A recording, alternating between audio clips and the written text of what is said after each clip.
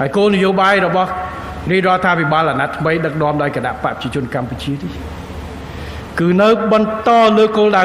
2គោលដៅទី1ថែរក្សាឲ្យបានដាច់ខាត នៅសមិទ្ធផលដែលគណៈបព្វជិជនកម្ពុជាដឹកនាំប្រទេសសម្រេចបានក្នុង44ឆ្នាំទីដែលរួមមានកត្តាសំខាន់បំផុតគឺថែរក្សាសុខសន្តិភាពស្ថិរភាពនិងជំរុញការអភិវឌ្ឍជូនប្រជាពលរដ្ឋនិងការឯកភាពជាតិទឹកដីត្រូវដាច់ខាតត្រូវថែរក្សាបាន អ្នកខ្លះគេថាហ៊ុនម៉ាណែតនិយាយដដែលដដែលអ្នកខ្លះនិយាយអត់អីថ្មីសោះព្រោះអីអាដដែលនឹងវាសំខាន់សន្តិភាពវាសំខាន់40ឆ្នាំមុនសន្តិភាពសំខាន់20ឆ្នាំមុនសន្តិភាពក៏នៅតែសំខាន់ថ្ងៃនេះ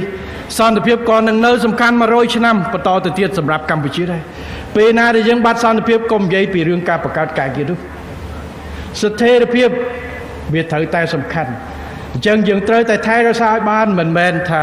អេខ្ញុំជាប់ឆ្នោតគណៈបករៀបចំរដ្ឋាភិបាលថ្មីភ្លេចទៅស្អីប្រមាណដែលរាជរដ្ឋាភិបាលថែរក្សាពីមុនមកកុំធ្វើធ្វើឲ្យខុសទៅអ្នកខ្លះគេថាហ៊ុនម៉ាណែតបើដើរតាមបន្ទាត់នយោបាយក៏ដែរគឺជាជនផ្ដាច់ការតតែផ្ទុយពីនឹងបានគេហៅប្រជាធិបតេយ្យខ្ញុំតែ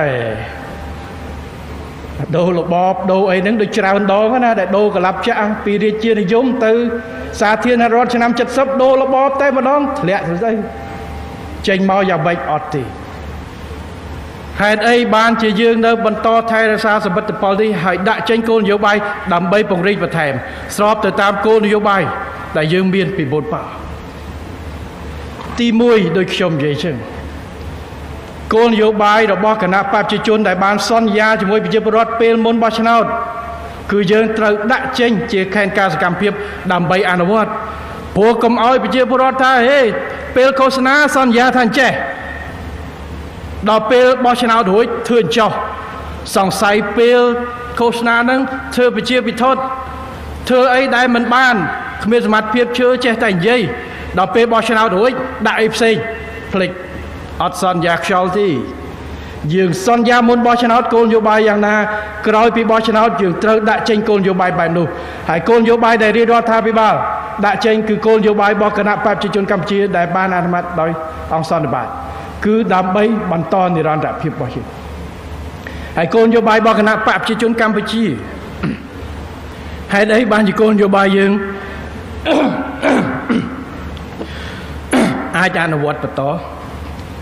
ព្រោះទីមួយគោលនយោបាយយើងកសាងមិនមែនកញ្ចក់កដៀតឬស៊ឺដោយអារម្មណ៍ទេគឺមើលអ្នកវិភាគខ្លះអ្នកនយោបាយខ្លះមួយថ្ងៃក្នុងមួយឆ្នាំគាត់គោលនយោបាយគាត់ចង់ប្រែចឹង10អត់មានគោលនយោបាយច្បាស់លាស់និយាយតាមអារម្មណ៍និយាយតាមឱកាសដឹកនាំប្រទេសមិនអាចចេះតែ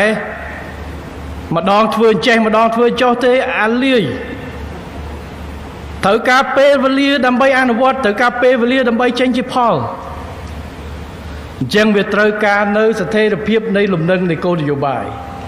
អញ្ចឹងគណៈបព្វជិជនកម្ពុជាដាក់ចេញគោលនយោបាយមួយគិតក្រុមជ្រុងក្រោយគិតច្បាស់លាស់ហើយចាក់ខុសវិស័យវែងឆ្ងាយយើងមានផែនការសកម្មភាពវែងឆ្ងាយរយៈពេលវែងហើយមានផែនការសកម្មភាពដោះស្រាយដាក់វិធានការក្នុងរយៈពេលចំពោះមុខរយៈពេលខ្លីរយៈពេលប្រជុំនិងរយៈពេលវែងដើម្បីធានានៅនិរន្តរភាពបងប្អូនយើងមិនអាចថាអេ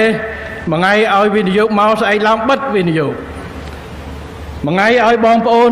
កម្មករកម្មការនេះអាចសម្រាប់90ថ្ងៃស្អែកឡើងពេលមានផ្ទៃពោះសម្រាប់មាតុភាព90ថ្ងៃស្អែកឡើងដូរទៅត្រឹម10ថ្ងៃមុនបោះឆ្នោតសន្យា120ថ្ងៃក្រោយបោះឆ្នោតឲ្យសម្រាប់តាម20ថ្ងៃអត់ទេយើងត្រូវធានានិរន្តរភាពនឹងហើយគេហៅថាការដឹកនាំប្រទេស ហើយគោលនយោបាយគណៈបព្វជិជនកម្ពុជាមិនមែនធ្វើឡើងដោយបុគ្គលម្នាក់ពីរនាក់អង្គុយវិភាគអានសន្ទរកថាឬមួយអាន research ស្អីនោះទេគឺធ្វើឡើងដោយក្រុមអ្នកជំនាញមានបទពិសោធន៍របស់យើងដឹកនាំអនុវត្តគោលនយោបាយច្បាស់រាប់សិបឆ្នាំអញ្ចឹងគោលនយោបាយរបស់រាជរដ្ឋាភិបាលដឹកនាំដោយគណៈបកប្រជាជនកម្ពុជា គឺមានភាពច្បាស់លាស់និងភាពយូរអង្វែង ខ្ញុំពិតហើយថ្ងៃនេះបែរជាមានអ្នកអង្គុយចាំមើលហើយអង្គុយចាំវាយខ្ញុំសូមប្រាប់ថាគោលនយោបាយរបស់គណៈបព្វជិជនកម្ពុជា គឺមានភាពនឹងណភាពនិរន្តរភាពគោលនយោបាយយើងមានសកលភាពយើងមានភាពនឹងណនឹងស្ថិរភាពប៉ុន្តែអ្វីដែលប្រែប្រួលគឺផលប្រយោជន៍ជូនប្រជាពលរដ្ឋពីមួយអាណត្តិទៅមួយអាណត្តិផលប្រយោជន៍កាន់តែកើននឹងហើយដែលសំខាន់ អារឿងគោលនយោបាយត្រូវមានលំនឹងការធ្វើប៉ុន្តែអ្វីដែលសំខាន់លទ្ធផលពីគោលនយោបាយនេះវាបានផលជូនប្រជាពលរដ្ឋហើយក្នុងវិស័យការងារផលជូនកម្មករកម្មគណីឲ្យកាន់តែរីកនឹងហើយគេហៅថាប្រសិទ្ធភាពនៃការដឹកនាំនយោបាយបាទមិនមួយថ្ងៃអង្គុយវិភាគចេះថ្ងៃមួយវិភាគចោលមួយថ្ងៃនិយាយចេះនិយាយចោលវាអត់មានលំនឹងអត់មានមូលដ្ឋាននិយាយគេហៅថាវិភាគស៊ីអារម្មណ៍ឬធ្វើផែនការស៊ីអារម្មណ៍គឺវេទនីហើយ